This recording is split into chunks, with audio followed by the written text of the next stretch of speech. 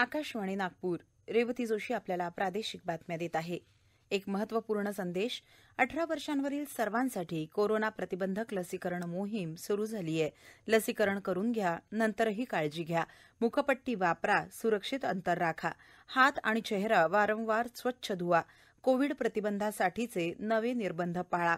विनाकारण घराबाहेर पडून गर्दी करू नका. कोविड एकोणीसबद्दल काही प्रश्न असतील तर शून्य एक एक दोन तीन नऊ सात आठ शून्य चार सहा आणि एक शून्य सात पाच या राष्ट्रीय तसंच शून्य दोन शून्य दोन सहा एक दोन सात तीन नऊ चार या महाराष्ट्रासाठीच्या मदतवाहिनी क्रमांकावर संपर्क साधा. आता ठळक बातम्या.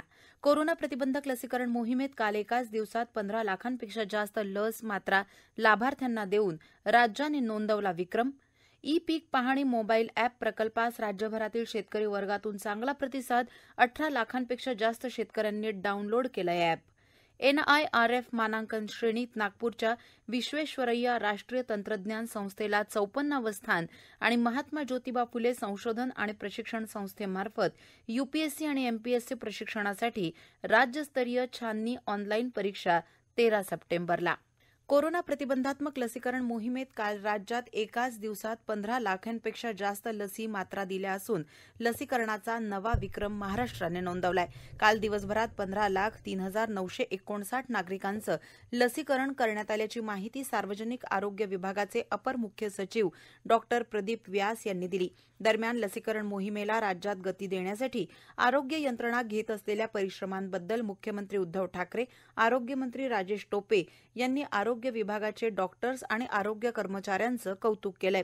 राज्यात या लसीकरण मोहिमेत आतापर्यंत दिलेल्या लशींच्या मात्रांची संख्या सहा कोटी पंचावन्न लाख ब्याऐंशी हजार आठशे अठ्याहत्तर वर गेली आहे तर सुमारे एक कोटी ऐंशी लाख नागरिकांना लसीची दुसरी मात्रा देऊन याबाबतीतही महाराष्ट्र देशात आघाडीवर आहे. देशाची सुरक्षा अधिक बळकट करण्यासाठी अन्य एकोणीस ठिकाणी आपत्कालीन स्थितीत विमान उतरवण्यासाठीच्या इमर्जन्सी लँडिंग सुविधा विकसित केल्या जातील अशी माहिती केंद्रीय रस्ते वाहतूक आणि महामार्ग मंत्री नितीन गडकरी यांनी आज दिली. संरक्षण मंत्री राजनाथ सिंह यांच्यासह राजस्थानमधील राष्ट्रीय महामार्ग नऊशे पंचवीस अ वर इमर्जन्सी लँडिंग सुविधेचं उद्घाटन करताना ते बोलत होते. महामार्गावरील विमानासाठीची धावपट्टी सामरिकदृष्ट्या महत्त्वाच्या असलेल्या सीमांचं संरक्षण करण्याच्या दृष्टीने देशाची सुरक्षा आणखी बळकट करील अशी आशा त्यांनी यावेळी व्यक्त केली. पंतप्रधान नरेंद्र नरेंद्र मोदी यांच्या नेतृत्वाखाली जागतिक दर्जाच्या राष्ट्रीय महामार्गाचं बांधकाम विक्रमी वेगानं केलं जात आहे आता आपले राष्ट्रीय महामार्ग देखील लष्कराला उपयोगी पडतील ज्यामुळे आपला देश अधिक सुरक्षित होईल आणि आणीबाणीच्या परिस्थितीसाठी नेहमी सज्ज राहील असंही ते म्हणाले. राज्यसभा सदस्यांच्या मृत्यू आणि राजीनाम्यामुळे रिक्त झालेल्या सहा जागांसाठी भारतीय निवडणूक आयोगानं निवडणुकीचा कार्यक्रम जाहीर केलाय. यात महाराष्ट्रातले राज्यसभा सदस्य राजीव सातव यांच्या निधनामुळे रिक्त झालेल्या जागेचाही समावेश आहे. याशिवाय पश्चिम बंगाल आसाम आणि मध्य प्रदेशातील प्रत्येकी एका तर तामिळनाडूतील दोन जागांसाठी निवडणुका होतील. या निवडणुकांसाठी येत्या पंधरा सप्टेंबरला अधिसूचना जारी होईल. बावीस सप्टेंबर ही निवडणुकीसाठी अर्ज दाखल करण्याची अंतिम तारीख असेल तर सत्तावीस सप्टेंबरपर्यंत अर्ज मागे घेता येणार आहेत. यानंतर चार ऑक्टोबरला सकाळी नऊ ते चार या वेळेत प्रत्यक्ष निवडणुकीसाठी मतदान होईल. तर त्याच दिवशी संध्याकाळी पाच वाजता मतमोजणीला सुरुवात होईल.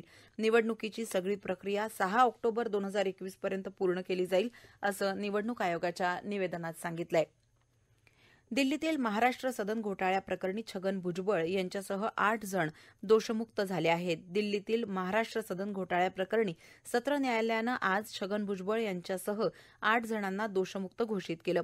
आपला न्यायदेवतेवर विश्वास आहे. आपण संयमानं सत्र न्यायालयाच्या आदेशाचा स्वीकार करतो. अशा शब्दात अन्न आणि नागरी प्रवठा मंत्री छगन भुजबळ यांनी महाराष्ट्र सदनाच्या कथित घोटाळ्याप्रकरणी सत्र न्यायालयाच्या आदेशानंतर आपली प्रतिक्रिया दिली. या प्रकरणी आठशे कोटींचा भ्रष्टाचार झाल्याचा आरोप छगन भुजबळ आणि अन्य आठ जणांवर झाला होता. निकालानंतर आपण शरद पवार आणि मुख्यमंत्री उद्धव ठाकरे यांची भेट घेतल्याचं भुजबळ यांनी सांगितलं. सत्र न्यायालयाच्या निकालाविरोधात ज्यांना उच्च न्यायालयात जायचंय त्यांनी जरूर जावं. सत्र न्यायालयाचा निकाल हा मूळ मुद्द्यांवरच आधारित आहे असंही ते म्हणाले. महाराष्ट्रातील गावांच्या रस्ते जोडणीमध्ये सुधारणा करून ग्रामीण अर्थव्यवस्थेला चालना देण्यासाठी भारत सरकार आणि आशियाई विकास बँक यांनी तीनशे दशलक्ष डॉलर्सच्या कर्ज करारावर स्वाक्षऱ्या केल्या. या ग्रामीण रस्ते जोडणी सुधारणा प्रकल्पासाठी उपलब्ध झालेल्या अतिरिक्त वित्त पुरवठ्यामुळे चौतीस जिल्ह्यांमध्ये दोन हजार नऊशे किलोमीटर लांबीच्या अकराशे ग्रामीण रस्त्यांची आणि दोनशे तीस पुलांची सुधारणा होणार आहे. महसूल आणि कृषी विभाग यांच्या संयुक्त विद्यमाने शेतकऱ्यांना सक्षम करण्यासाठी सुरू करण्यात आलेला ई पीक पाहणी हा महाराष्ट्रासाठी एक व्यापक प्रकल्प आहे. या प्रकल्पामुळे शेतकरी अधिक सक्षम होण्यास मदत होणार असल्याचं महसूल मंत्री बाळासाहेब थोरात यांनी सांगितलं. शेतकऱ्यांच्या सातबाऱ्यावर पीक पाहणीची अचूक नोंद होण्यासाठी राज्य शासनाने माझी शेती माझा सातबारा मीच नोंदवणार माझा पीक पेरा ही मोहीम हाती घेतली आहे ई पीक पाहणी मोबाईल अॅप प्रकल्पाला राज्यभरातील शेतकरी वर्गातून चांगला प्रतिसाद मिळतो आहे. आजपर्यंत अठरा लाखांहून जास्त शेतकऱ्यांनी हे अॅप डाऊनलोड केलं असून या शेतकऱ्यांनी ई पीक पाहणी देखील नोंदवली आहे महाराष्ट्रात राबविण्यात येणारा हा व्यापक प्रकल्प असून हा प्रकल्प राज्यातील प्रत्येक कुटुंबाशी जोडला जाणार आहे. या प्रकल्पामुळे शेतकरी बांधवांना आपल्या पिकाची माहिती स्वतःच भरणं शक्य होणार आहे. आताच्या डिजिटल युगात शेतकऱ्यांना सहज पारदर्शक आणि बिनचूक पद्धतीने आपल्या पिकांची नोंदणी करता येईल असंही थोरात म्हणाले. या प्रादेशिक बातम्या आपण आकाशवाणीच्या नागपूर केंद्रावरून ऐकत आहात. एनआयआरएफ अर्थात राष्ट्रीय संस्थात्मक मानांकन संस्थेच्या अभियांत्रिकी आणि संशोधन या श्रेणीत आयआयटी मुंबईला तिसरं स्थान मिळालं आहे केंद्रीय शिक्षण मंत्री धर्मेंद्र प्रधान यांनी काल दोन हजार एकवीसच्या मानांकनांची यादी जाहीर केली. या यादीमध्ये नागपूरच्या विश्वेश्वरय्या राष्ट्रीय तंत्रज्ञान संस्थेला चौपन्नावं स्थान मिळालं. व्यवस्थापन क्षेत्रात आयआयएम नागपूरला चाळीसावं स्थान प्राप्त झालंय.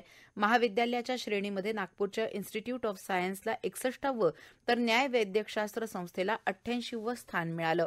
रामटेक इथल्या कवी कुलगुरू कालिदास संस्कृत विद्यापीठाचे कुलगुरू आणि गोंडवाना विद्यापीठाचे प्रभारी कुलगुरू प्राध्यापक श्रीनिवास वरखेडी यांनी लिहिलेल्या पाश्चात्य तर्कशास्त्र या ग्रंथाला कर्नाटक संस्कृत विद्यापीठाच्या संस्कृत ग्रंथ पुरस्काराने सन्मानित करण्यात आलाय. दोन हजार वीस या वर्षासाठी जाहीर झालेल्या संस्कृत ग्रंथ पुरस्कारांमध्ये प्राध्यापक वरखेडी यांच्या ग्रंथाला स्थान मिळालं. दरवर्षी संस्कृत महोत्सवाच्या निमित्ताने संस्कृत भाषेतील विविध शास्त्रांमधील ग्रंथांना पुरस्कार प्रदान केले जातात. काल संस्कृत महोत्सवाच्या उद्घाटन कार्यक्रमात कर्नाटकाचे राज्यपाल थावरचंद गेहलोत यांच्या हस्ते संस्कृत या ग्रंथ पुरस्कारांचं वितरण करण्यात आलं. प्राध्यापक वरखेडी यांनी भारतीय दर्शनशास्त्रासह पाश्चात्य दर्शनशास्त्र तर्कशास्त्र संगणकीय भाषा विज्ञान यांचं प्रगाढ अभ्यासक आणि संशोधन केलंय. आतापर्यंत त्यांची शास्त्रावर आधारित बारा ग्रंथ प्रकाशित झाले असून त्यांनी दहा संशोधन प्रकल्पही पूर्ण केले आहेत राष्ट्रीय छात्र सेना अर्थात एनसीसीच्या नाविक शाखेसाठी वरिष्ठ गटात सहभागी होण्याकरता येत्या बारा ते पंधरा सप्टेंबरपर्यंत अर्ज दाखल करता येतील. इच्छुकांनी प्रथम वर्षासाठी आपले नामांकन अर्ज बंगला नंबर दोन स्टार्क टाऊन मंगळवारी बाजार सदर नागपूर स्थित विभागीय कार्यालयात किंवा ऑनलाईन पद्धतीने दाखल करावेत. राष्ट्रसंत तुकडोजी महाराज नागपूर विद्यापीठाशी संलग्न कनिष्ठ आणि वरिष्ठ महाविद्यालयातील विद्यार्थी अर्ज करू शकतील. प्रवेश परीक्षा अठरा आणि एकोणीस सप्टेंबर रोजी कोविड प्रतिबंधक नियमांचं पालन करून आयोजण्यात येणार असल्याचं संबंधित पदाधिकाऱ्यांनी कळवलं आहे एकोणीसशे नव्याण्णवमध्ये भंडारा जिल्ह्याचे दोन भाग करून गोंदिया जिल्ह्याची स्वतंत्र निर्मिती करण्यात आली. त्यासोबतच मालमत्ता हस्तांतरण कायद्यामध्ये संशोधन करून नवनिर्मित गोंदिया जिल्ह्याचा समावेश करणं अपेक्षित होतं जे न झाल्यामुळे गोंदिया जिल्ह्यातील नागरिकांना बँकेतून कर्ज घेण्यासाठी किंवा संपत्ती गहाण करावयाची असल्यास भंडाऱ्याला जाणं येणं करावं लागत होतं. या समस्येवर समाधान शोधण्यासाठी गोंदियाचे आमदार विनोद अगरवाल यांनी मालमत्ता हस्तांतरण कायद्यात गोंदिया जिल्ह्याचा समावेश करण्याबाबत विधानसभेत प्रश्न उपस्थित केला होता. त्या अन्षंगाने सहा सप्टेंबर रोजी राज्याच्या महसूल आणि वन विभागाद्वारे राजपत्र प्रकाशित करण्यात आलं असून मालमत्ता हस्तांतरण कायद्यात गोंदियाच नव्हे तर राज्यातील सर्व गावं तालुका आणि जिल्ह्यांना समाविष्ट करण्यात आलंय. या निर्णयामुळे गोंदियातील नागरिकांना मोठाच दिलासा मिळालाय. आगामी टी ट्वेंटी विश्वचषकासाठी बीसीसीआयनं कर्णधार विराट कोहलीच्या नेतृत्वाखालील पंधरा सदस्यीय संघाची घोषणा केली. सतरा ऑक्टोबर ते चौदा नोव्हेंबर या कालावधीत यूएई आणि ओमानच्या मैदानात टी ट्वेंटी विश्वचषक सामने खेळवले जातील. भारत आणि पाकिस्तान एकाच गटात असून या दोन संघांशिवाय त्या गटात न्यूझीलंड आणि अफगाणिस्तानचाही समावेश आहे. पहिल्या गटात गत world champion West Indies England Australia आणि दक्षिण आफ्रिका या संघांचा समावेश आहे. अमरावती भंडारा गोंदिया नागपूर आणि वर्धा इथे तुरळक ठिकाणी विजेच्या कडकडाटासह पावसाची शक्यता नागपूरच्या प्रादेशिक हवामान खात्यानं वर्तवली आहे.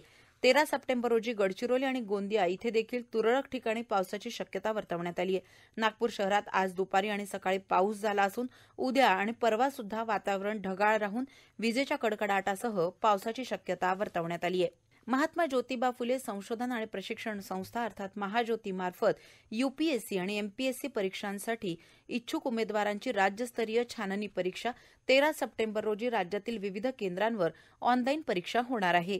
लक्ष्य गटातील इच्छुक उमेदवारांना यूपीएससी आणि एमपीएससी या नागरी गटातील परीक्षांसाठी प्रशिक्षण देण्याकरता अर्ज मागवण्यात आले होते.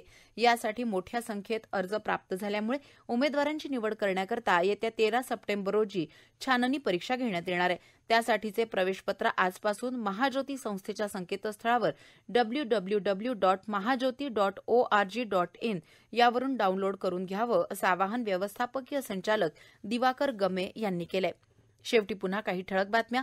कोरोना प्रतिबंधक लसीकरण मोहिमेत काल एकाच दिवसात पंधरा लाखांपेक्षा जास्त लस मात्रा लाभार्थ्यांना देऊन राज्याने नोंदवला विक्रम आणि महात्मा ज्योतिबा फुले संशोधन आणि प्रशिक्षण संस्थेमार्फत यूपीएससी आणि एमपीएससी प्रशिक्षणासाठी राज्यस्तरीय छाननी ऑनलाईन परीक्षा तेरा सप्टेंबरला. आकाशवाणीच्या नागपूर केंद्रावरील प्रादेशिक बातमीपत्र संपलं. नमस्कार.